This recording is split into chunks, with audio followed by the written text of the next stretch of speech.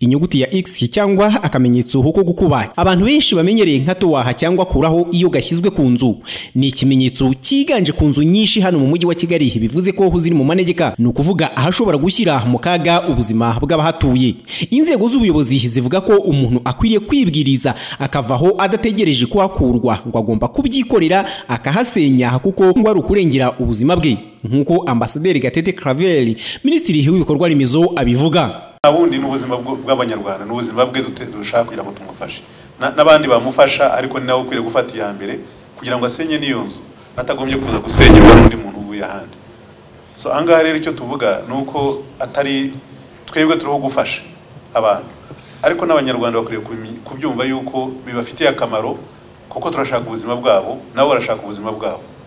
Niyo mpamvu nk'izo nzu abayobozi bagiye baravuga bati izi nzu ntabwo zakabaye zihari. Kumuteza ibibazo bagashyiraho X.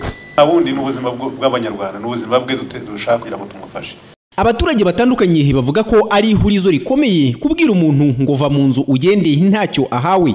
Bemera ko hari iziba zigaragara ko kuko zashyira mu kaga abazituyemo nabo ubwabo babyirebera. Ariko bavuga ko amaburakindi ariyo atuma baba muri izi nzu ziciriritse. Ari na zo ziganjeho iki kimenyetso.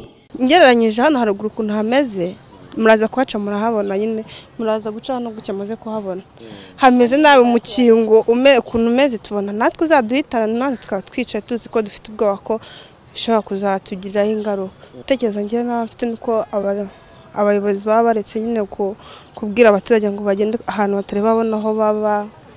Ikwiye kubaha amafaranga bakava nyine bakajya ahantu heza nk'uku nguku idora imikingo irimo iragwa ikagwira amazu agasenyuka n'abantu barimo bagapfa.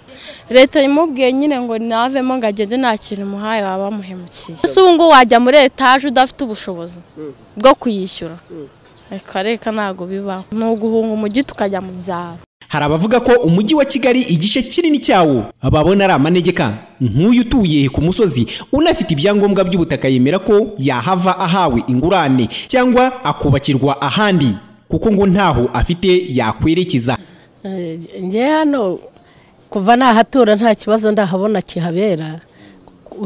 Ariko dutuye ku musozi nk'uko abandi batuye ku musozi. Hose mbona muri kigali hose ari mu manegeka.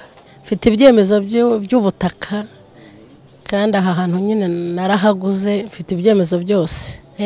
Use nakwimuka banyimura nta nyishyu bampaye kandi nta handi mfite ho kujya. Abubatse mu buryo bunyuranyije n'amategeko ndetse bakigabiza ibishanga. Aba ngo ntacyo bagomba guhabwa. Icyakora ngo ufite icyangombwa cy'uko ubutaka yubatseho ari ubwe. Aha ho ngo hari uruhengekero rwo guhabwa ingurane nk'uko porofeseri shyaka anastase uyobora minaroke abivuga. Nta bitaro tugiye kubaka nta mashuri tugiye kuhubaka nta ntabwo ari ibikorwa rusange tugiye gushyira hariya hantu ahubwo ni uko ikintu cya mbere gituma hari abantu bagomba kuhava icya mbere ndetse no kubusanya n'amategeko ariko nuko n'ubuzima bwabo bushobora kujya mu bibazo. Ni ukuvuga ni ubuzima bwabo mbere y'ibindi byose. Nagira ngo rero icyo cyumvikane rwose ntihaba bavuga ngo buriya ngo uriya nzu yari mu gishanga ubwo ariho kariya ka x kashyizweho n'umujyi wa kigali ngo buriya mujyi wa kigali uzishyura kariya kazu kandi ako kazu karubatswe. Mu buryo bunyuranyije n'amategeko n'icyo gishanga bigabije ari igishanga cya leta. Urumva ntabwo byakunda. Ariko niba umuntu yari afite agataka ke bikaba bigaragara ko byari byemewe wenda cyari gakondo ni ubutaka bwe.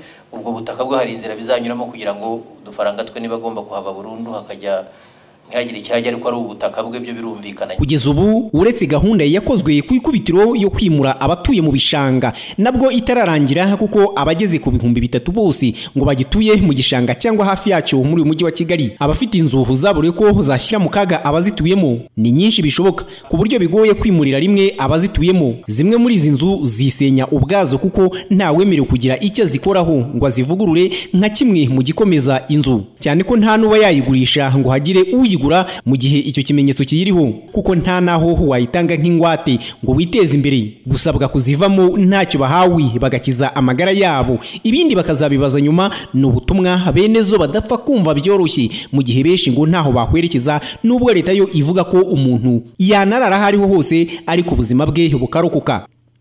Fulgence Kizuera TV1